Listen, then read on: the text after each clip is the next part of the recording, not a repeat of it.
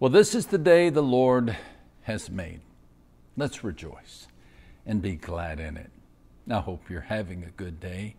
And if you could use some prayer support today, would you please let us know how we can pray for you? Just post your prayer needs in the comment section. Today we're continuing uh, a little series, a brief series, inspired by a book I wrote called Grace for the Moment. This is a note taking edition, which is kind of cool for your daily devotionals. You can put your thoughts in there. You know, before I got married, I was a slob. I mean, a serious slob. I was the typical bachelor leading the single life and not caring uh, about my conditions. You've seen the TV shows where the sloppy person gets a makeover. Well, that, that I would have made an excellent candidate for that. But then I got married. Then I married Denalyn. And boy, oh boy, did things change. Let's just say she did not marry me for my neatness, but I certainly learned to appreciate hers. She was and is neat and tidy. She likes things orderly, not to mention clean.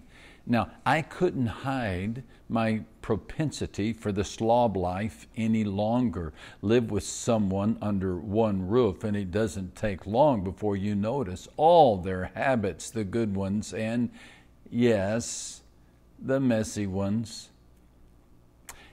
I soon came to learn that clean clothes were meant to be hung in the closet and not tossed over the back of a chair. And here's the thing I came to like the neat life. Neat life. I, I, I like coming home to a clean home. I actually came to enjoy clean dishes and contributed to my newfound life of neatness. It felt good to have a place for everything and for everything to be orderly and not chaotic. But then came the moment of truth. Denalyn went out of town for a week. Again, we were still newlyweds. Initially, I reverted to my former slob status. I thought I'd take a vacation from my new, neat ways.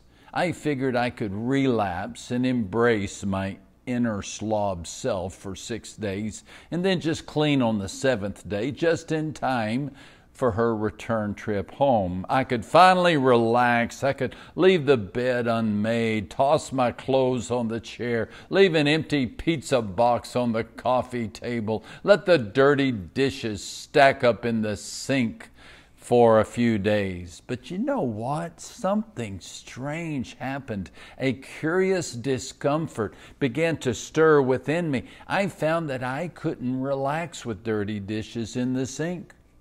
And after working all day, I wanted nothing more than to sit down with a book and, and read or, or watch a little television. But how could I when the dinner dishes were calling my name and there was a trail of clutter everywhere I looked? You see, I had changed. I could no longer relax with the clutter piling up. What had happened to me? Simple. I had been exposed to a higher standard. I was used to our home being orderly and things being put away. The clutter that I used to embrace had become a distraction. I liked my new status of neatness. Isn't that what has happened with us as Christians? You see, before Christ, we were out of control. We were sloppy. We were indulgent. And we didn't even know we were slobs until, until we met him. And suddenly we found ourselves wanting to do good, to be good. We were inspired to lead better lives with his help.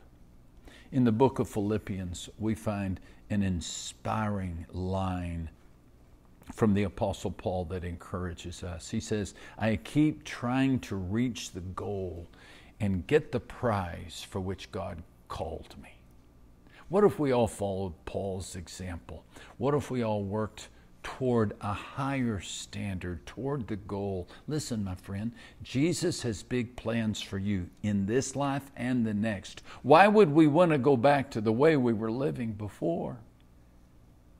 The next time you see dishes piling up in your kitchen sink, I hope you'll remember this little talk on high standards and the power the influence for Christ.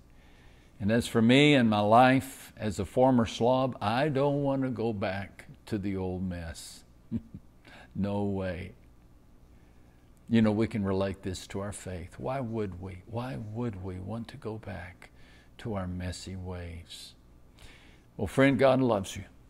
Now, He loves you just the way you are, but He loves you too much to leave you that way. He wants you and me to be every day a little more just like Jesus.